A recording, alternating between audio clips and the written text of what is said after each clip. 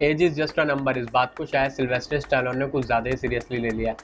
ये बंदा तकरीबन ऑलमोस्ट 80 इयर्स ओल्ड के अराउंड है, लेकिन अभी भी हमें लाइव एक्शन मूवीज़ के अंदर देखने को मिल रहा है। और इनकी नई आने वाली मूवी है समार्टन जिसके अंदर सिल्वेस्टर स्टैलोन हमें एक सुपर हीरो का कैरेक्टर प्ले करते हुए नज़र आएँगे। कमाल है यार 80 इयर्स ओल्ड के अंदर एक सुपर हीरो कैरेक्टर प्ले कर रहा है। समार्टन मूवी के अंदर हमें सिल्वेस्टर स्टैलोन एक रिटायर्ड सुपर हीरो का कैरेक्टर प्ले करते नज़र आएँगे। और इस मूवी के अंदर हमें दिखाया जाएगी एक फिक्शनल सिटी जिसका नाम ग्रेनाइट होने वाला है, जिस सिटी के अंदर क्राइम कुछ ज़्यादा ही बढ़ गया है। लेकिन 25 साल पहले ऐसा कुछ भी नहीं था, क्योंकि इस सिटी के अंदर 25 साल पहले इनका एक सुपर हीरो हुआ करता था, जिसका नाम था सिमैटन और इसी सिमैटन का कैरेक्टर प्ले करने वाले हैं अपने रैम्बो भैया।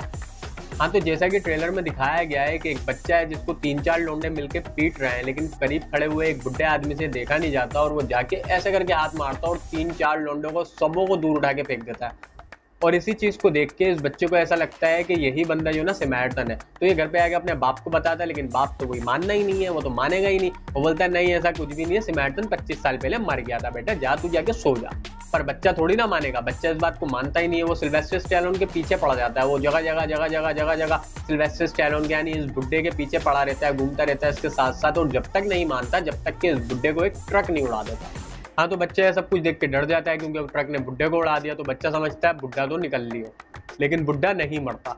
जैसे बच्चा बुढ़े के करीब जाता है तो बुढ़ा स्ट्रेंजर थिंग्स के अंदर जिस तरीके से उन लोगों की हड्डियाँ टूटी थी ना, इस तरीके से उस बुढ़े की हड्डियाँ जुड़ना शुरू हो जाती है। बुढ़ा कहता है आई एम कूल तो बच्चे को पक्का यकीन हो जाता है कि यही समार्थन है। अब जब बच्चे के सामने बुढ़े का राज खुल जाता है तो बुढ़ा जो कि 25 साल से छुप के बैठा हुआ था रिटायर हुआ हुआ था, अचानक से इसको जो ना अपनी फीलिंग्स जागती है और ये दोबारा से अपना यूनिफॉर्म पहन लेता है, जो कि मुझे बिल्कुल भी पसंद नहीं आया।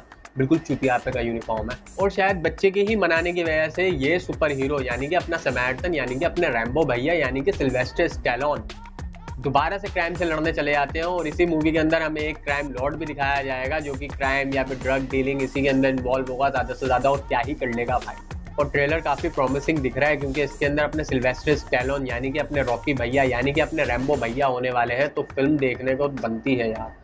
और मज़ा आएगा फ़िल्म देखने में। बाकी तुम लोग क्या देख रहे हो यार? पूरी पूरी वीडियो देखते हो, लेकिन ना चैनल को सब्सक्राइब कर दो ना वीडियो को लाइक करते हो यार। चैनल को सब्सक्राइब करो वीडियो को लाइक करो, सब अपना ही माल समझो यार, अपना ही माल है। और शेयर भी कर देना। हाँ तो मिलते हैं आप लोगों से नेक्स्ट वीडियो में, तब तक के लिए बाय